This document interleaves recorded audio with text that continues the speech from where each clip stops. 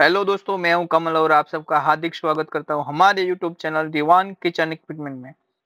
दोस्तों, आज मैं आपके सामने लेकर आया हूँ hand operated multi vegetable cutting machine जिसमें आप सभी प्रकार का वेजिटेबल का कटिंग कर सकते हैं। क्यूब कटिंग करना हो, लंबा कटिंग करना हो, जैसा आपको कटिंग चाहिए, उस तरह से आप कटिंग कर सको सबसे पहले हम फ्रेंच फ्राई बना रहे हैं पोटेटो को रख के ऊपर से प्रेस कर देना है और हमारा तुरंत ही फ्रेंच फ्राई बन के रेडी हो जाएगा। एकदम लंबा फ्रेंच फ्राइज आपको मिल जाएगा। आप देख सकते हो वीडियो में जो हमने बनाया एकदम लंबा फ्रेंच फ्राइज बन के रेडी है। उसके बाद हम ऑनियन का लंबा कटिंग करेंगे।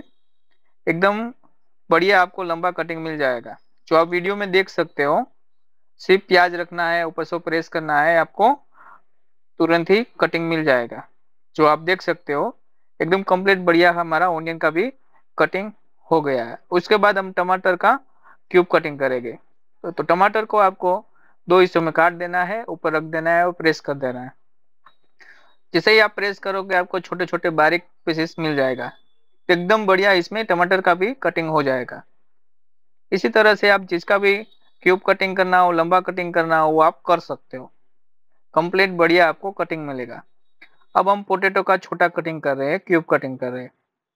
पोटेटो को आपको दो हिस्सों में काट के रख देना है और ऊपर से प्रेस कर देना है।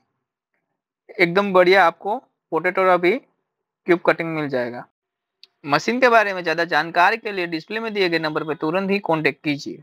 दोस्तों, आप हमारे चैनल पर नए हो तो चैनल को लाइक शेयर एंड सब्सक्राइब कीजिए ताकि आपको ऐसे ही बेहतरीन वीडियो मिलते रहेंगे। ये हमारा पोटेटो का भी क्यूब कटिंग हो गया है। एकदम बढ़िया सभी एक जैसा आपको क्यूब कटिंग मिलेगा।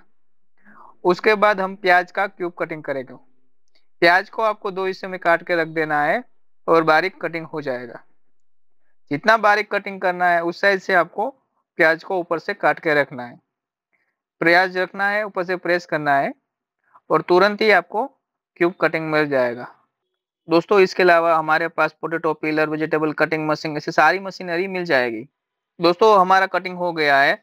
हमने अभी प्याज का पोटेटो का और टमाटर का क्यूब कटिंग किया है दोस्तों, वीडियो अच्छा लगा तो वीडियो को लाइक और शेयर कीजिए। थैंक यू दोस्तों।